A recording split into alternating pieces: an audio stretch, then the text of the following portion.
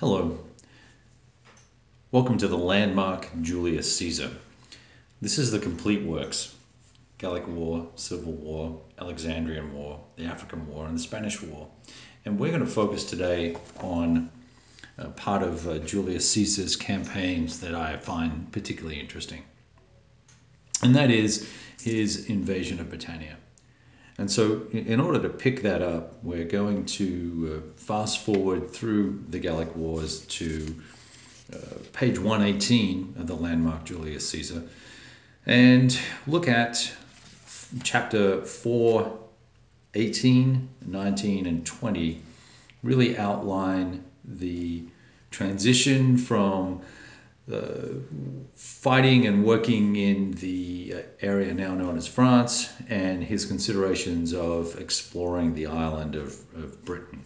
So we'll, uh, we'll pick it up at uh, 4, 4.20 on page 120, and, and, and I'll paraphrase this section. Uh, July, August 55 BC was the fourth year of the, the war uh, with the bridge over the Rhine, and Caesar plans an expedition to Britain in the remaining weeks of the campaign season and gives his reasons.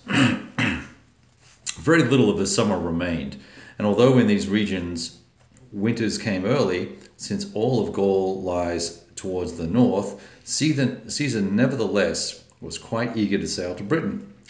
The reason was his knowledge that in nearly all the wars in Gaul, auxiliary forces had been sent out to our enemies from there. Moreover, he reckoned that even if the season were too short for waging war, it would still be very advantageous to him just to go to the island, get a personal impression of the type of people who live there, and reconnoiter the localities, the harbors, and the landings. All this was virtually unknown to the Gauls. Indeed, nobody but merchants go there without a compelling reason, and the merchants themselves know nothing beyond the seacoast, and only those parts of it that are opposite Gaul. For this reason, although he summoned merchants from everywhere, he could discover neither how large the island was, what nations inhabited it, and how populous these were, nor how they waged war and what their customs were in general, nor again which harbors, if any, were suitable for larger numbers of ships. So uh, I'll, I'll, stop there and we'll paraphrase uh, a little bit again and then we'll skip ahead a, a bit to uh, actually get into the landing and, and, what happens there at the landing, which will frame our uh, be our frame of reference for looking at the great battles of history, the Battle of Britannia, 55 BC, and we'll look at, at that particular battle and, and I'll uh, be sharing some images from that battle and hopefully some artwork and other stuff as well. So let's do the paraphrase. August, September 55 is the fourth year of the war. Uh, Caesar sends an officer ahead to reconnoiter the coast of Britain and himself departs with his army for the Atlantic coast. Upon receiving news of his plans, delegations arrive from nations in Britain offering surrender. Encouraging them, Caesar sends them back with an influential Gallic leader. And that's when we uh, now will pick up. Let's see, we will now pick up on 422. While Caesar was staying in this area in order to get ships ready, envoys came to him from a large part of the districts uh, of the Morini, who were to apologize for their actions during the previous campaign season. Being barbarians and unfamiliar with their customs, they said they had waged war on the Roman people, but now they promised they would do whatever Caesar ordered. And uh, this then chapter then goes on to discuss the, the fact that Caesar accepted their submission and that most of the Morini and uh, of most of the Morini and makes final preparations for the expedition to Britain. So what I'm doing there is covering for the fact that I have uh, missed the uh, the chapter that I'm looking for, and we're now going to progress to that.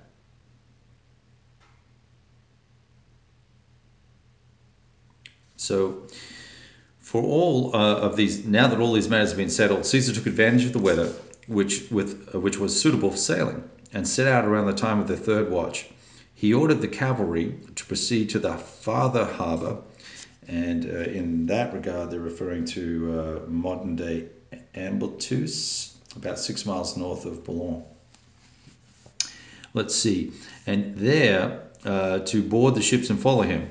Although they did not manage to do this quite as quickly as they might have, uh, uh, there was. Um, no, he, he, seen, he himself reached Britain with the first group of ships around the fourth hour of the day. There he saw armed troops demonstratively posted on all the heights. Conditions in that area were such, and the cliffs hugged the sea so closely, that a weapon could be hurled from the higher positions straight onto the beach. He considered, uh, let me pause here. He considered this a very unsuitable site for disembarking and waited at anchor until the ninth hour, giving the rest of the ships time to join him there.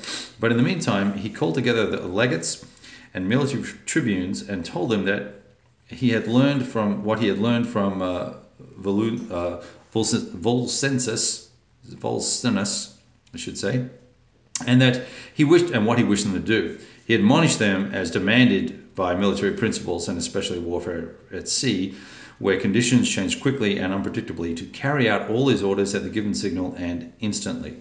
He then dismissed them, taking advantage of the fact that both the wind and the tide were favorable. He gave the signal, hoisted the anchors, and sailed forward about seven miles, and put the ships in a wide and open beach.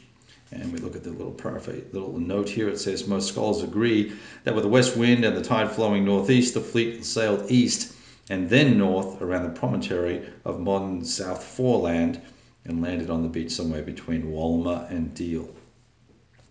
But the barbarians recognized the Romans, what the Romans planned to do and sent ahead their cavalry and charioteers, a type of troop they commonly employ in battles, and followed with their remaining forces, trying to prevent our men from disembarking. For the following reasons, it was extremely difficult to land. Because of their size, the ships could anchor only in fairly deep water Yet the soldiers, in an unfamiliar place, with their hands occupied and burdened by the large and heavy weight of their armor and weapons, had to jump from the ships. Finding steady footy, footing in the current and fighting with the enemy at the same time. The enemies, by contrast, either were standing on dry land or had gone a little into the water. Their limbs were completely unencumbered. They were very familiar with the terrain and they therefore boldly threw their weapons and drove forward with their horses which were accustomed to this kind of action. All this frightened our men, and they were altogether inexperienced at this kind of battle. They therefore did not push forward with the energy and the eagerness that normally displayed they normally displayed in land battles. And we move on to 425, chapter 425. When Caesar became aware of the problem, problems, he gave orders to the warships the appearance of which was less familiar to, to barbarians, and which could maneuver faster in reaction to developing needs, to withdraw a little from the transports, then move forward with their oars, positioning them uh, themselves at the exposed flank of the enemy, and drive them back with the slingshots, arrows, and catapult missiles until they were removed from the beach. This maneuver proved very helpful to our men. The barbarians, greatly impressed by the shape of the ships, the motion of the oars, and the catapults, a type of weapon with which they were completely unfamiliar, stopped and backed off just a little. Our soldiers were still hesitant, particularly because of the depth of the sea. But the eagle bearer of the 10th Legion, calling upon the gods to make what he was about to do turn out well for the Legion, cried out, Jump down, fellow soldiers, unless you want to betray the eagle to the enemy.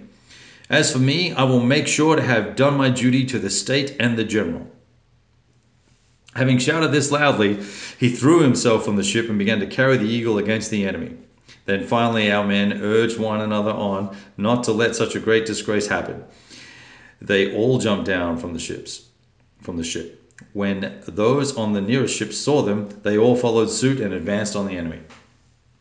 The fighting was fierce on both sides. Our soldiers continued to be confused a great deal. Because they could not maintain rank, gain a firm footing, or closely follow their standards, instead they joined whatever standard from which ship they ran into.